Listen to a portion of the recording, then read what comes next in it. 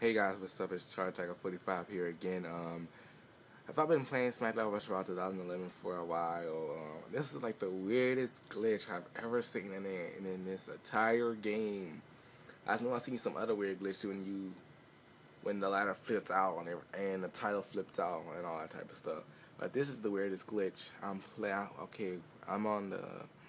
Wait, I'm doing the. Uh, we're doing a tag team match. Me and Kane. Me and Kane. We're going against my creative superstar and Santino.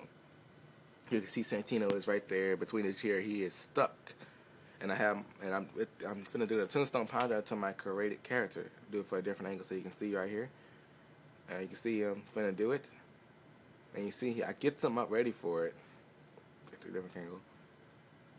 Right here see I get ready to do it. I'm gonna do a tombstone power driver. Kane goes over to Santino and we see Santino stuck. He's like glitched. He can't move. Santino Kane grabs Santino. I glitch my way over there to Santino. And my you see my character's still up there. He's gonna get he's gonna get the tombstone power driver. He gets the tombstone power driver. Me and Kane, if Santino, we do the when we do the choke slam like together. And Santino gets hurt by the chair. That was the weirdest glitch I've ever seen in the ring, and I go over there and I pinned my character superstar and we win.